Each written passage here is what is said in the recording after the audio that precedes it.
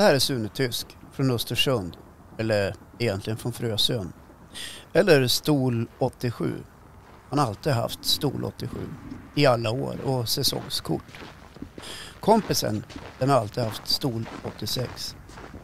Ja, jag känner mig ungefär som de här eh, ifrån Svenska Akademin. Den här stolen är min på livstid så jag kommer att sitta här så länge jag orkar. Jag ser Strömsensbor, man ser ifrån Ragunda, de kommer överallt ifrån här. Det är en stolthet för hela Jämtland. Vad känner du i magen då när du sitter här och upplever skrik och jubel från tusentals människor och att Falkarna står där borta på kortsidan och håller låda?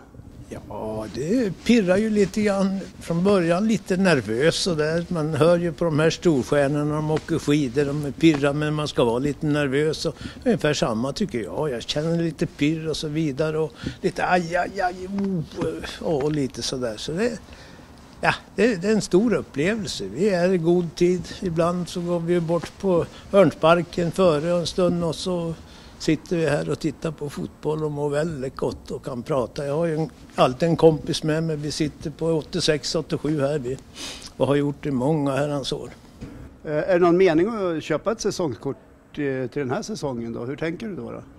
Jag tänkte som förra säsongen att det skulle vara kul att se fotboll och så blev det inte av men jag sa att det är klart pengarna får ni behålla. Ni har roat mig under året i alla fall.